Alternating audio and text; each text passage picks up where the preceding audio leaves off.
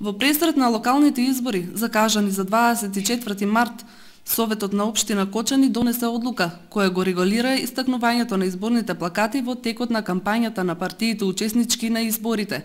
Според неа, плакати може да се лепат на оградниот зид на улица 4 Македонска бригада, оградниот зид на улица Тодосија Пълнов, поранеш на 29 ноември, на потегот што води кон селото Ризари.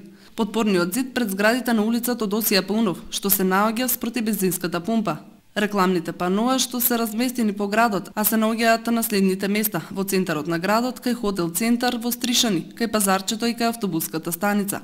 Во селата, како места за истакнување на изборни плакати, се определуваат вообичаените места за соопштенија и известување на граѓаните. Изборните плакати може да се истакнуваат и на стамбени или други објекти, со предходна согласност од собственикот.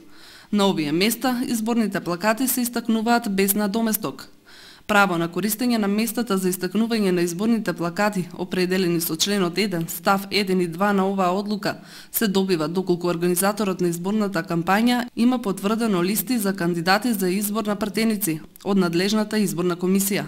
Организаторите на изборна кампања од став 1, алинеја 1 од овој член да поднесат барање до градоначалникот на општина Кочани најдоцна три 3 дена пред законскиот рок, односно 20 дена пред денот на одржување на изборите.